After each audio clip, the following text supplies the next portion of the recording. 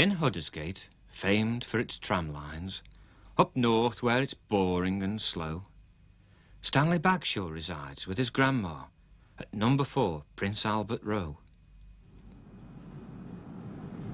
Now, near where Stan lives is a factory, which he frequently happens to pass, that makes sprockets and wheels out of copper and steel, and motorbike parts out of brass.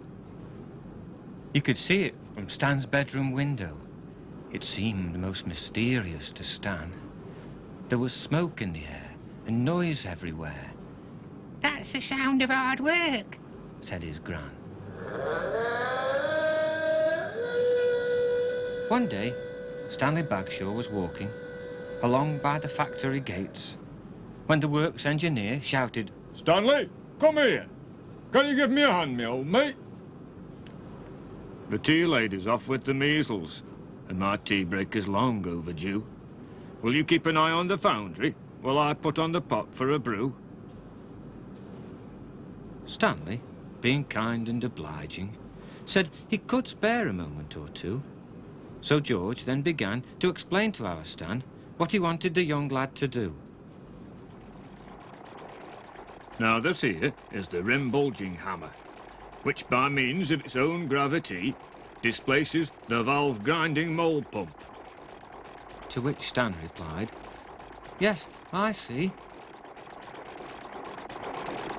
And this is the fringe spoking grommet, which measures the weight and the force of the overhead valve grinding knurl screw. To which Stan replied, Yes, of course. Now you see this big clock in the middle? That shows when the wheel mould is full. Now here's what you do. When it says 32, you just give this big lever a pull. Now we'll only be gone for a moment, so don't worry, the engineer said. Are you sure that you understand what to do? Our Stanley just nodded his head.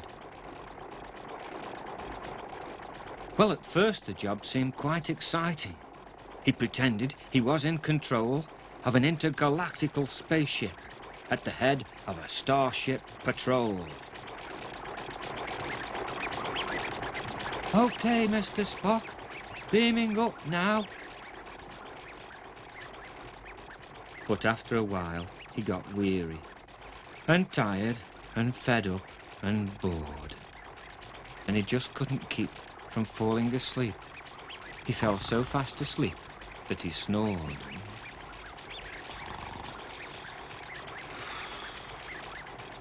But the hands on the clock kept on turning. 32, 33, 34, past the red danger sign. 38, 39, till the mould wouldn't hold anymore. Bang went the mould pumping engine. Our Stanley woke up with a shout. Oh, heck. And Cyril and George rushed into the forge to see what the noise was about. Just look at that clock, shouted Cyril. By gummy, the engineer said. Stanley Bagshaw, have you let it pass 32? Our Stanley just nodded his head.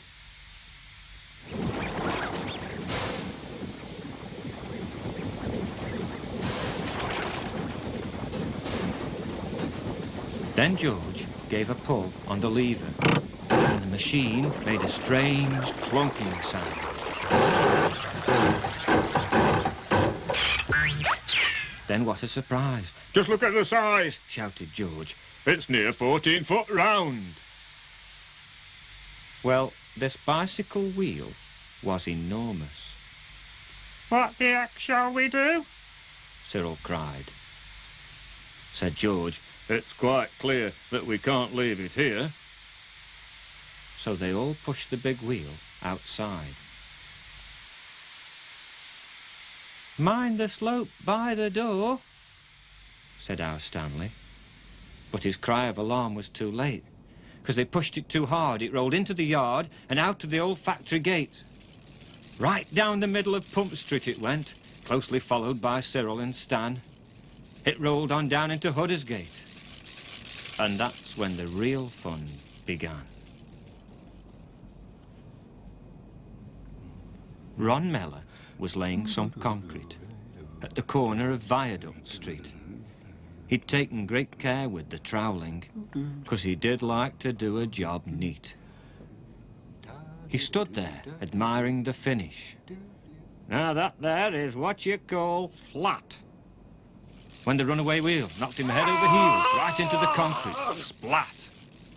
I wonder why you did that.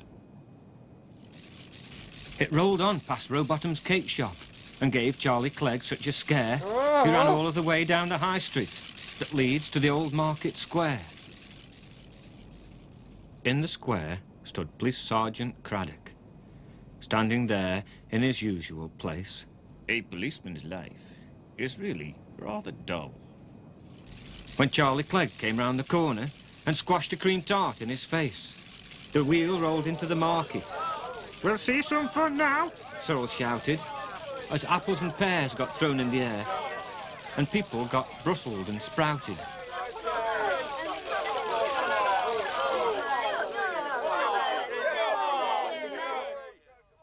Mrs. Podmore was proud of her cheese stall, and her wares were most carefully displayed. Till she saw the big wheel, when she let out a squeal and became just a little dismayed. Up in the air went the groceries. Her customers weren't very pleased. One of them stuttered, I've been bu- bu- buttered. That's nothing, she said. I've been cheesed. The wheel rolled on along Bread Street. Back up. Cyril cried. What a lark. It turned down the hill past the gasworks. It was heading for Huddersgate Park.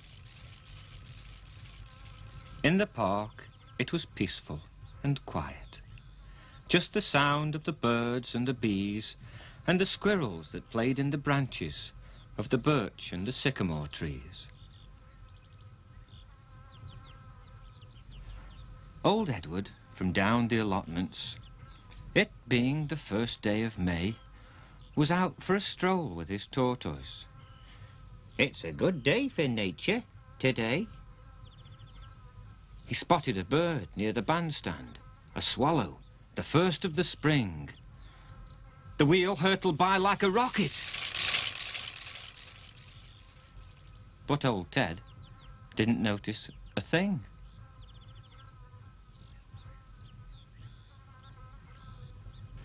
By the lake, Maurice Ratcliffe was fishing, sitting there half asleep on his stool, till he saw the big wheel, and he let out a squeal and jumped up and fell into the pool.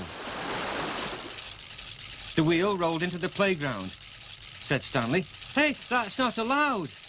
It rolled to the top of the playground slide and disappeared into the clouds. Well, that's very odd. muttered Cyril. It's perhaps just as well, said our Stan. It must be quite near me tea time. I'd better get home to me gran, Have you had a nice time? said his grandma, when our Stan got back home for his tea. I've just been a run around Huddersgate, Gran. Nothing much ever happens to me.